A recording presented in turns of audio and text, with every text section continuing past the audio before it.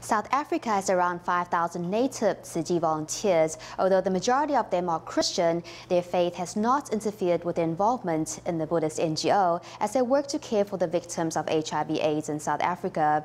In the next story, we catch up with more South African volunteers at the Overseas Training Seminar where they topped up on Master Yen's teachings to take back home.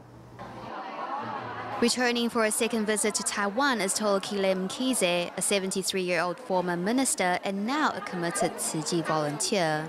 They just want to talk, and like that, they talk and do the action. That's why I agree to join that to the Buddhist in South Africa, Tolokile Mkhize and other ethnic Zulu volunteers travel to villages to care for and feed AIDS victims.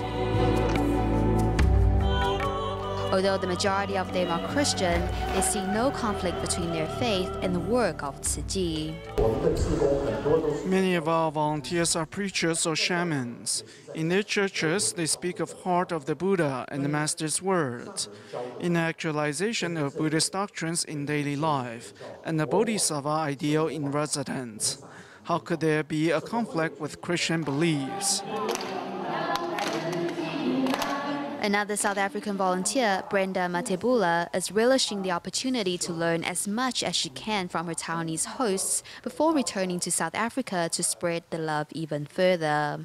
Every time when we are coming here to see our master and learning more and more about our master's teachings, when we are going back, we're trying a little bit harder to do the way as we are teaching here. So that's why we are, we are here to learn.